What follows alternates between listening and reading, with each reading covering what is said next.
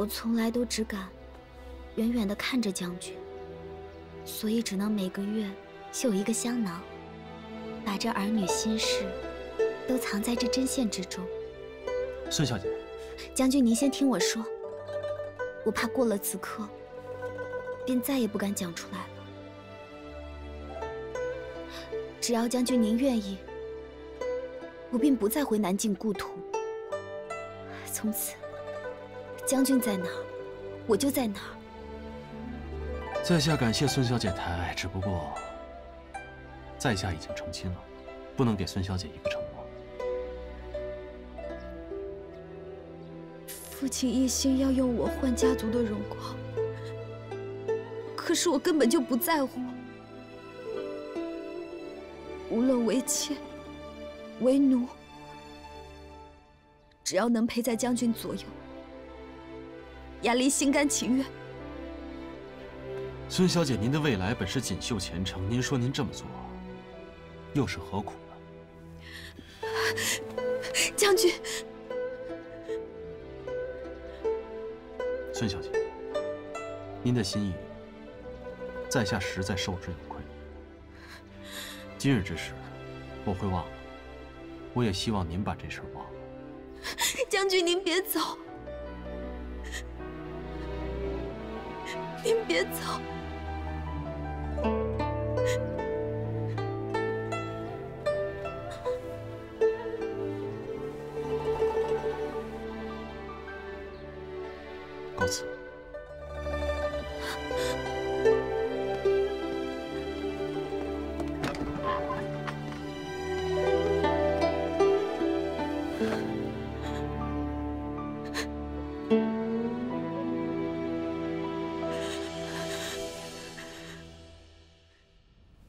臣拜别父皇。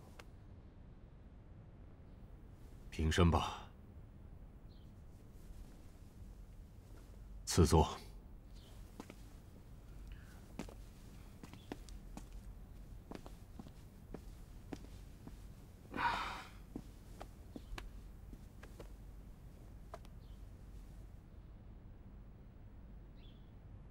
父皇，你这椅子也太简陋了吧，连个软垫都没有。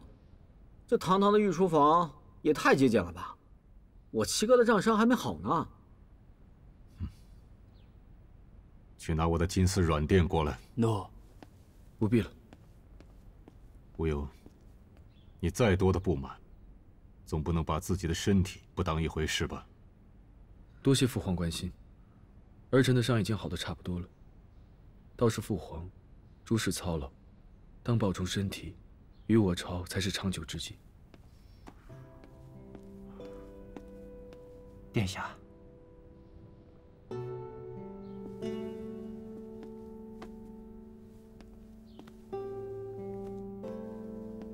你呀，早点料理好南境的事，你就赶快滚回来给朕辅政，免得朕天天都睡在御书房里。父皇。你要说你整天睡在后宫的话，我七哥更不乐意回来给你辅政了。胡说八道！哎，父皇，你身为一国之君，可不能这么任性啊！奏章就是扔了，你还得批的。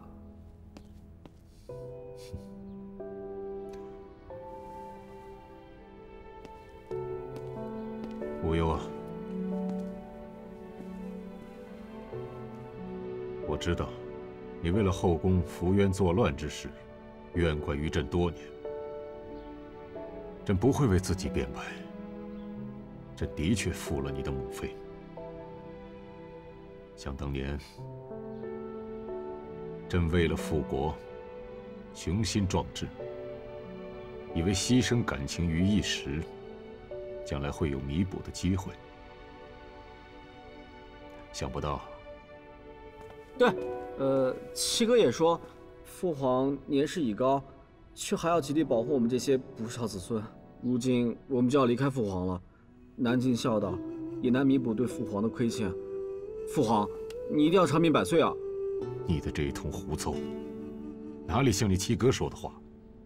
倒是你，少给父皇添麻烦，多长进，那你父王就能长命百岁了。嗯。老奴斗胆插一句话，陛下为了陈王殿下的案子，也是费尽心神，一再关照大理寺，尽快抓住真正扰民骚乱之人，还殿下清白。哦，父皇，原来你早就知道我是被冤枉的，那你还派我跟七哥去南京？你们此去南京散散心也好。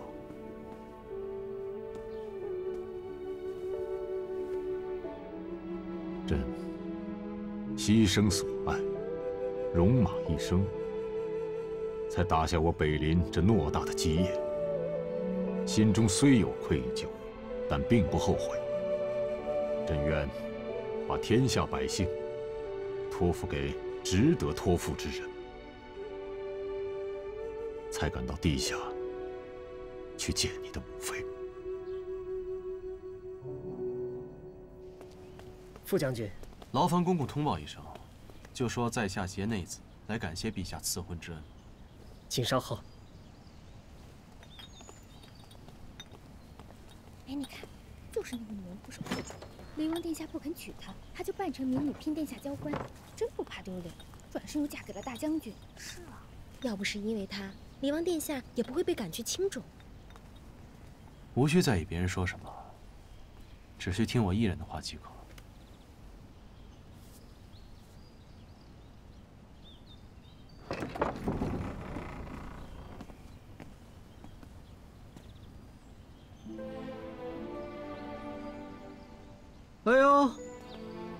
大将军新婚大喜，夫唱妇随，真是羡煞旁人啊！多谢殿下。听说两位殿下要远行，在下祝两位殿下一路顺风啊！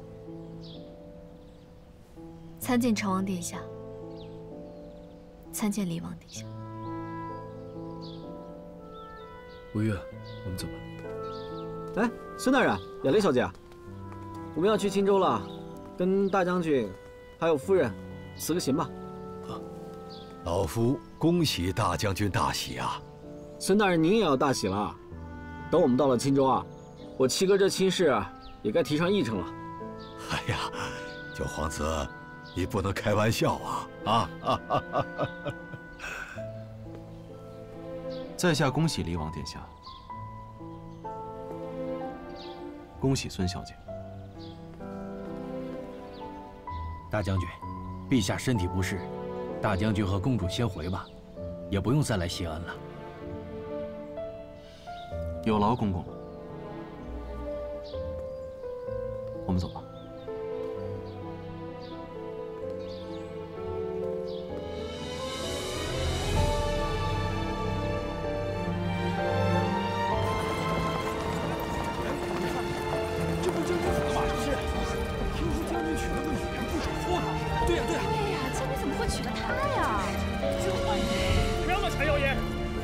抓起来！不许再说了，快！我也去。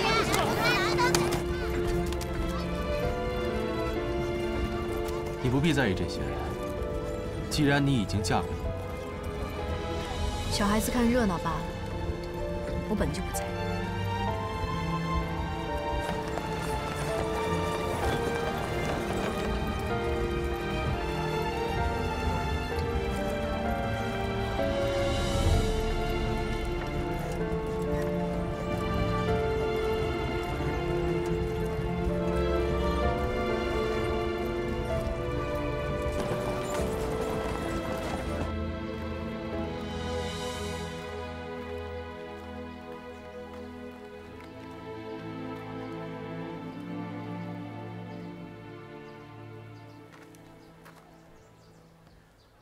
夫人怎么不回清明园啊？我还有些事要处理。我有些事想问将军。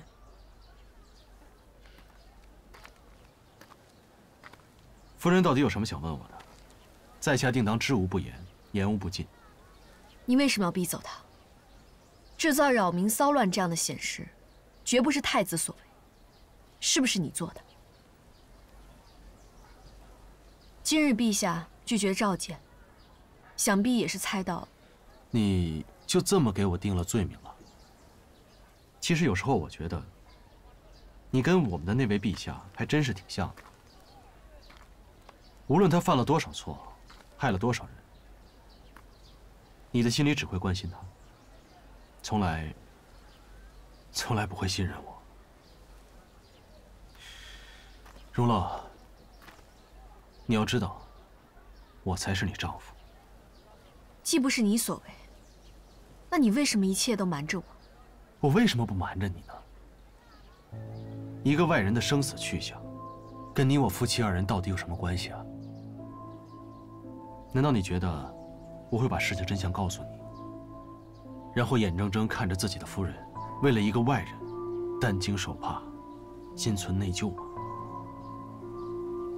我和他已经毫无关系，只是……无论今天你为什么来责问我，我都当是你我之间一种信任的开始吧。从今往后，你想知道我什么秘密？尽可以来问我，我一定会告诉你，不必暗自揣测。当然，我也希望有一天，你可以对我敞开心扉。我不需要。荣乐，总有一天你，你会知道，我才是真正对你好的人。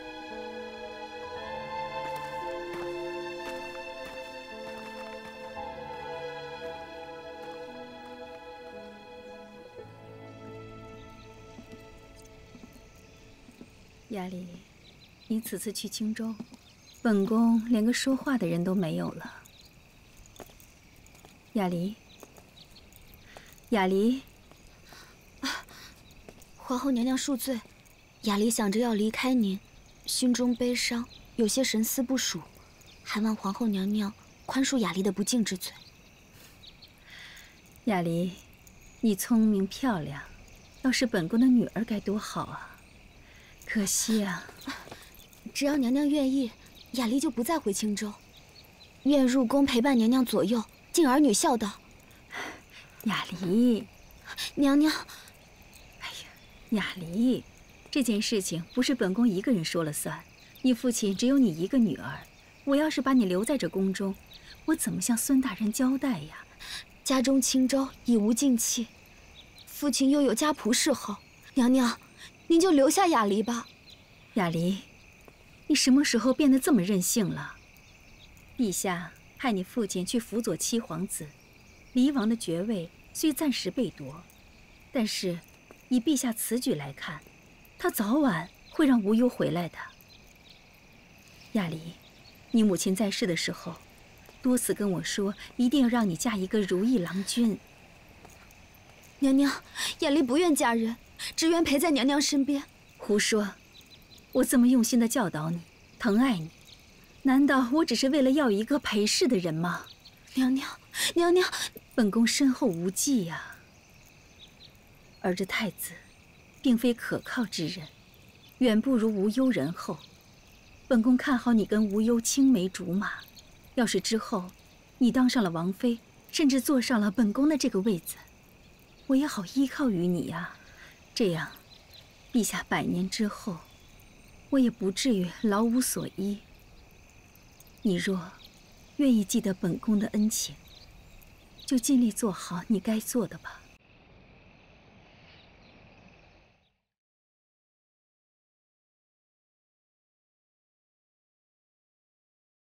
世事如棋，人事易变，恩怨爱恨。难辨难解，本以为自己可以操控之局，却不得不怀疑，我也会成为被命运所玩弄的棋子。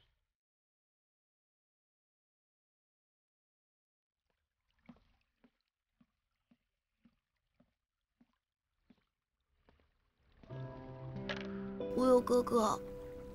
你不要再想那个坏女人了，她把你骗得好苦啊！枉我也以为我自己有了一个好姐姐，结果她把我也给骗了。不用再说了，无忧哥哥，你去了青州以后，一定要好好照顾自己。还有吴玉那个大笨蛋，不许他再去逛花楼。你也要好好照顾自己。要是有人敢欺负你，记得写信给我。嗯。冷言在。把这里封了吧。属下遵命。都走吧。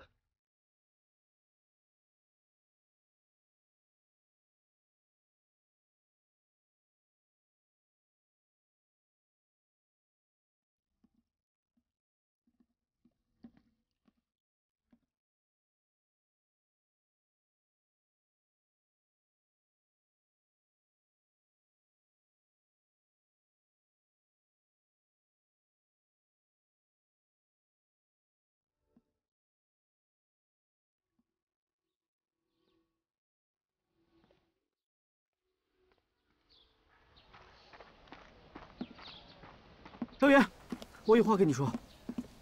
你明明在这里，刚才为什么不进来安慰无忧哥哥？我，我也要去南京了，怎么不见你安慰安慰我呀？哼！喂，你别走啊！你别走啊！我，你别走，我有话跟你说。我真的有话跟你说。其实吧，我我我还挺舍不得你的。我一想到要跟你分开。我的心里可难受了。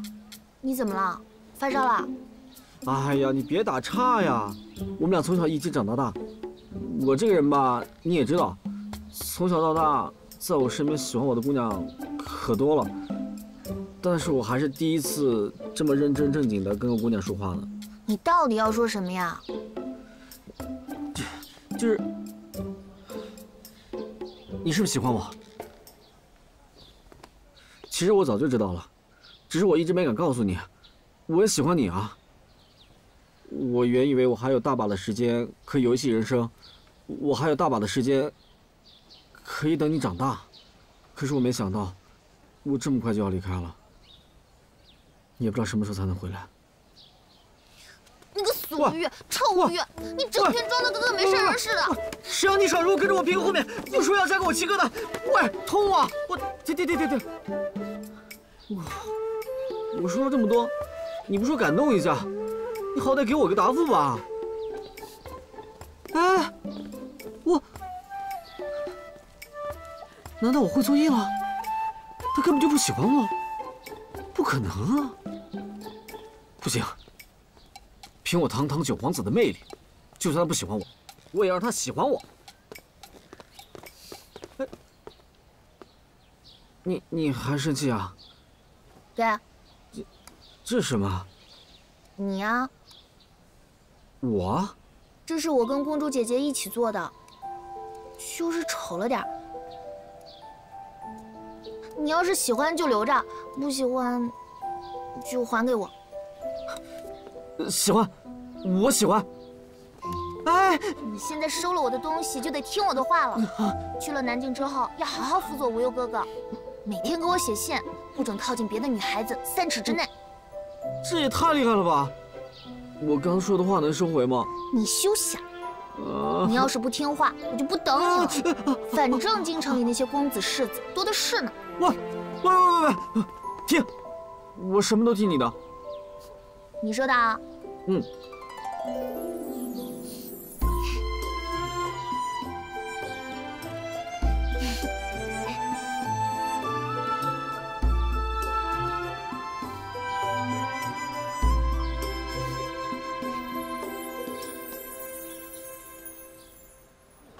龙龙又开枪了，这下又有茶喝了啊！还这下又有好茶哎，不知道这次又进了什么？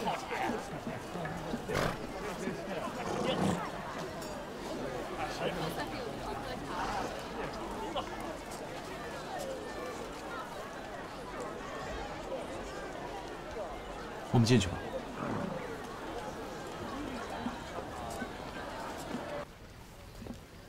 公主。你来了，不要叫我什么公主，你就像从前那样叫我就好了。陈月，这龙月楼是要重开吗？是小姐，龙月楼对我们来说就像家一样，我们都舍不得离开。荣乐，我知道你是真心喜欢茶艺的，所以我命人把这陇月楼解封了。从今往后，你还是陇月楼的少东家。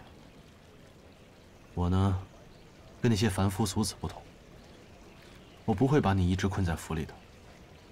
今后你要是有什么想做的事情、喜欢做的事情，你尽管去做，我一定会支持你。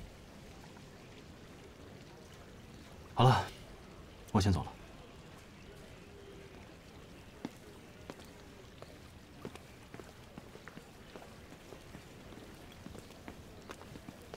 小姐，打起精神来。如果你愿意的话，我们一起把陇月楼经营下去，就当是为了陇月。如果你不愿意的话，你就离开，我们剩下的人也会把陇月楼照看好的。这里永远欢迎你回来。陈宇，你真的愿意为了陇月楼，为了我，放弃你游历山川、精细奇艺的梦想吗？小姐，你不用觉得陈英是放弃了什么，就当是我放不下这红尘俗世吧。对于我们来说，这里既是来处，也是归处。更何况我要修习琴艺，这里就是最好的地方。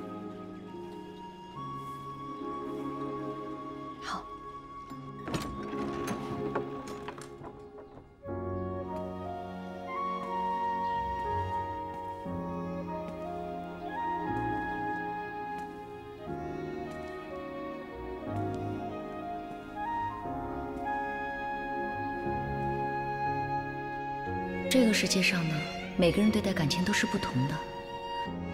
有的人全心付出，有的人拿来利用。是否不求回报？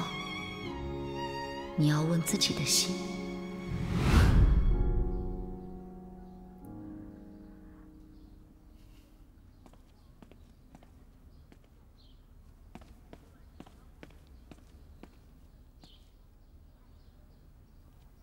还有脸来到这里？是你们逼死了陇月，是你亲手把陇月逼上了绝路。你在这里假仁假义，只会让逝者不得安宁。公主有公主的苦衷，属下有属下的无奈。只是不能对公主说起。无论公主如何看待属下，我都会完成自己的使命。我的职责就是保护公主。虚伪！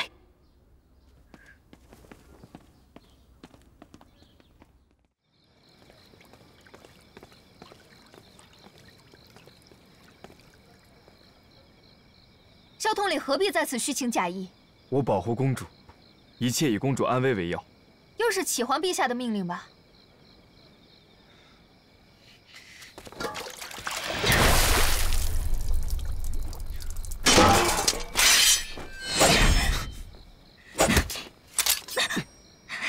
你知道我不会杀你，何必自伤？放开！放放！你走开，不用你管我。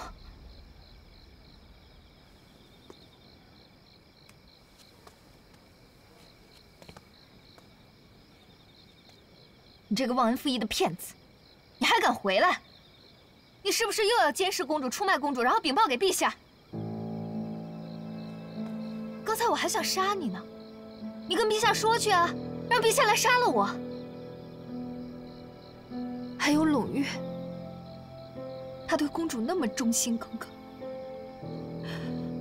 我告诉你，陇月的死你脱不了干系。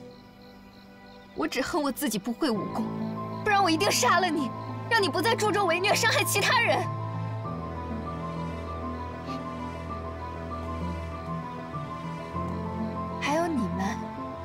要听萧统领的话，不然自己命丧黄泉都不知道呢。不管你信不信，如今我是唯一能保护公主安全的人。我答应过你们，带你们回西岐，我不会食言的。你以为公主还会相信你吗？如果你要是有一点点的自知之明，就请你滚，滚得越远越好。林月，不要为了无谓的人而动怒。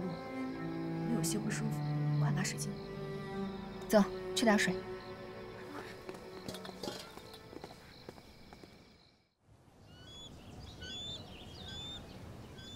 臣恭送二位殿下。孙大人，多谢杨大人啊！这次我们获罪外放，听说杨大人你利剑严惩，如今别人都唯恐避之不及，你却孤身前来送我们，怎么，是不是心里过意不去啊？殿下此言差矣。朝中利剑为公，宋军远行为私，臣心中自有分寸。你这个古板老学究，还挺有意思的嘛。哎，我记得之前就在这儿，我七哥怎么都不愿意迎亲，害得你为了李叔的事情啊，苦恼了许久。呃，啊，杨大人，这儿风挺大的，你快回去吧，别再送了。啊，走吧，走吧走吧。殿下，杨大人是我朝中之股肱之臣，朝事托付于大人，乃是我北陵幸事。殿下请放心，臣恭送二位殿下。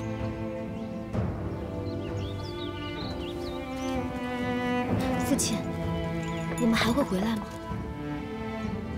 只要殿下回来。我们就可以风风光光的回来。小姐，走吧。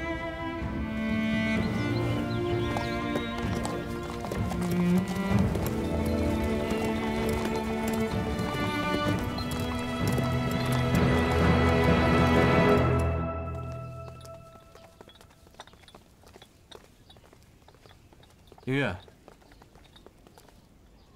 见过将军。将军何事？这是什么呀？给公主送的桂圆汤。你给夫人先送过去吧。诺。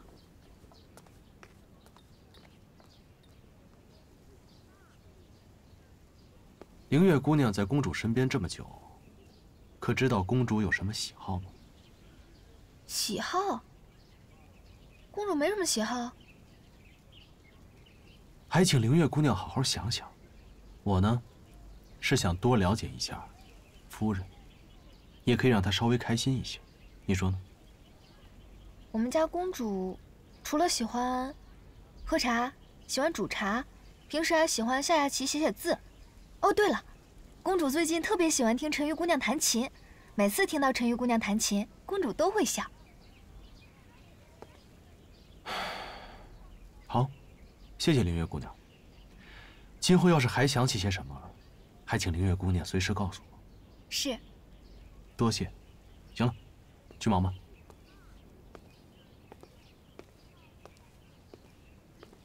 复仇将军对我们公主还是挺上心的。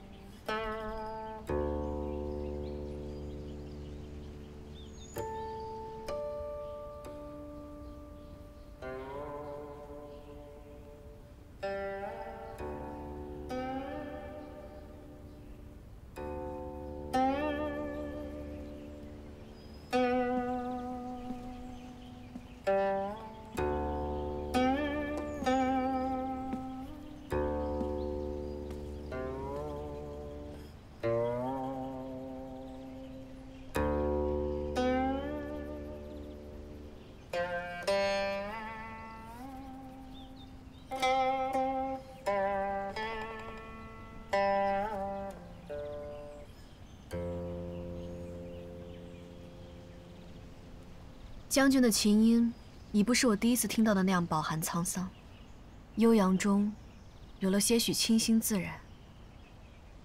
想必将军如今的心境不一样。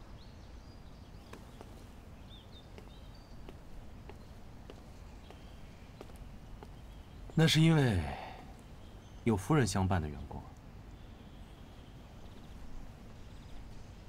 哦，对了，这首曲子是在下特意找来的。要是夫人喜欢的话，在下可以每日为夫人弹奏。有劳将军费心了。听夫人这话，你是有哪里不舒服吗？无碍，已经喝过药了。容乐先回房休息。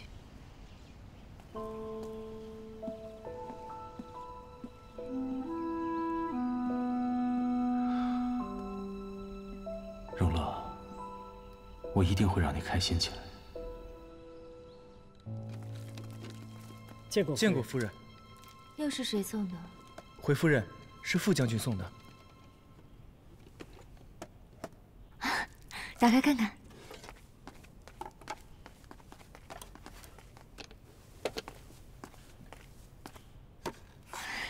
你们先下去。诺诺。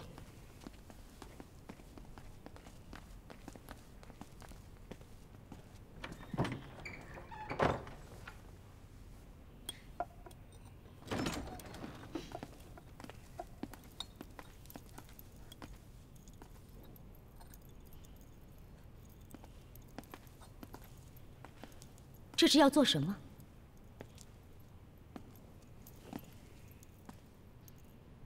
见过娘娘。殿下抬爱，妾明日生辰，所以殿下请了许多王侯公子和女眷到东宫。谁知他们送来这么多礼物，妾正不知该怎么办才好呢。他要在东宫给你办寿宴。是啊，娘娘还不知道吗？都怪妾忙着宴会之事，竟忘了让下人通知娘娘，请娘娘勿怪。妾没什么见识，明日还希望娘娘主持大局。哼，这东宫还需要我做什么？一个青楼女子都爬到我头上来了。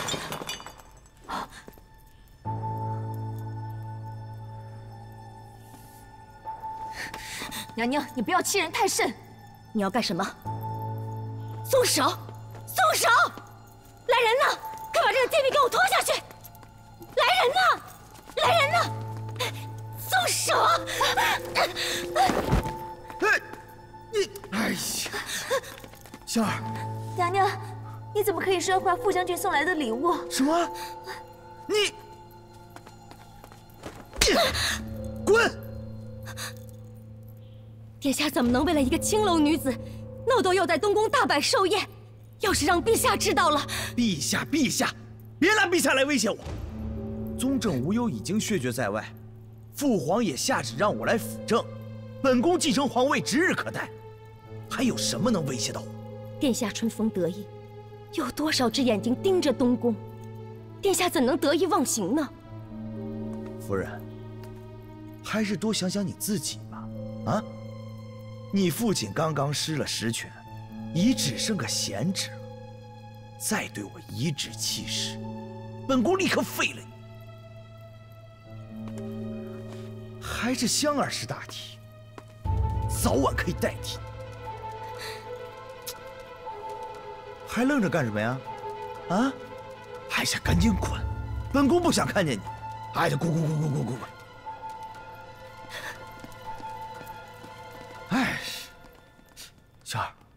没事吧？哎呀，别理他啊！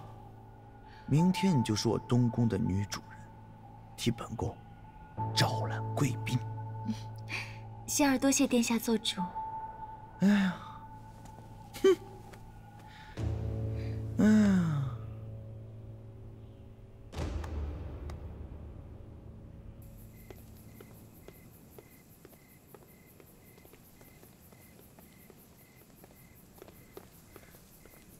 凌月姑娘，你来干什么？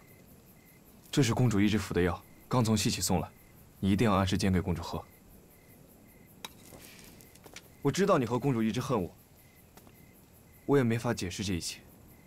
你可以恨我，但请你不要因为这样而伤害自己。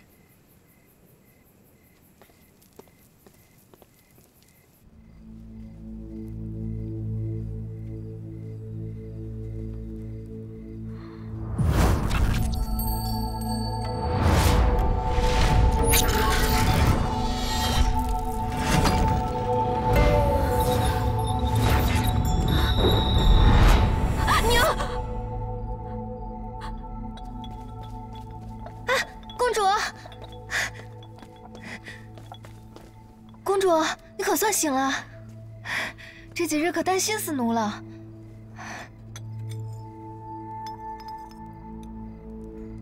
来，公主，把药吃了吧。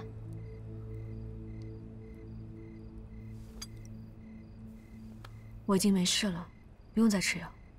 公主，正是因为之前诸事繁杂，您没按时服药，所以才昏迷的。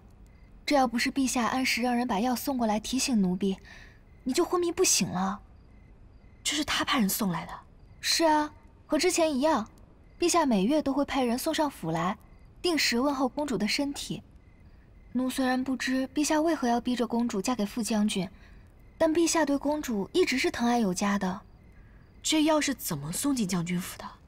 萧统领给奴的，听说是陛下派人送到府上的。这药还是原来的方子吗？奴婢没有看方子，按吩咐就把药给煎了。药材还剩吗？这个月都给煎了。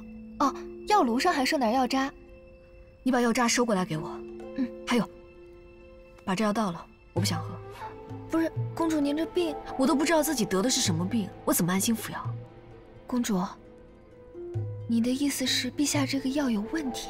我虽不通医理，但是我至少明白，几乎所有的头痛症之人都是临时发作，哪有每月按期服药、定期发作的道理？我也不知道，我是因为头痛而服药，还是因为服药而头痛？公主，你是说这不是药，而是导致你头痛症的毒？因为停了药，我会模糊的想起一些事情。如果我不继续服药，或许我的头痛失忆，会不治而愈。好，奴婢现在就把那些药渣收起来，好好查一查。还有，这件事情你不要让萧煞知道，下次再给你送药你不要接，直接拿给我。嗯。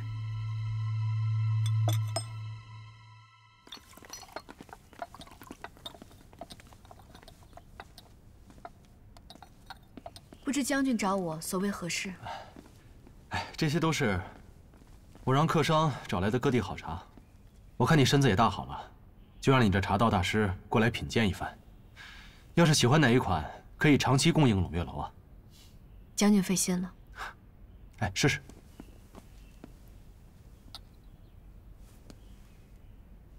我我看你是真心喜欢，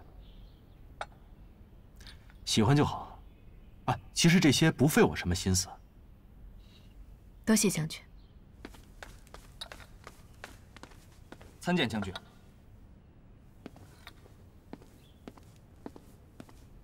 所谓何事啊？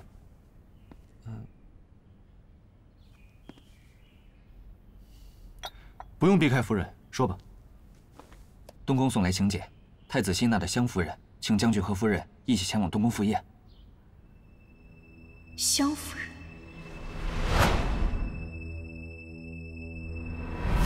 小女含香，来自天香楼。难道你不知道夫人大病初愈吗？就说夫人身体不适，改日有机会再去探望。是。不，我可以去。既是太子殿下宠姬的寿诞，又特地前来邀请，还是不要驳了东宫的面子，不然日后给将军带来什么麻烦？夫人愿意与我一同出门见客吗？我也不想永远都闷在府里，而且，我答应过你的事情，我就会做到。请夫人放心，我也一定会做好。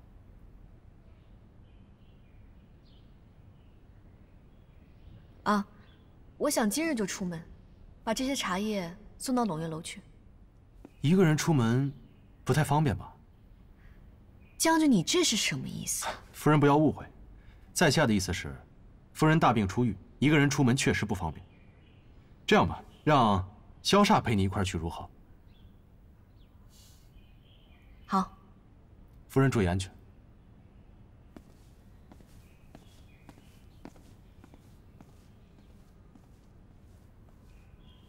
明白。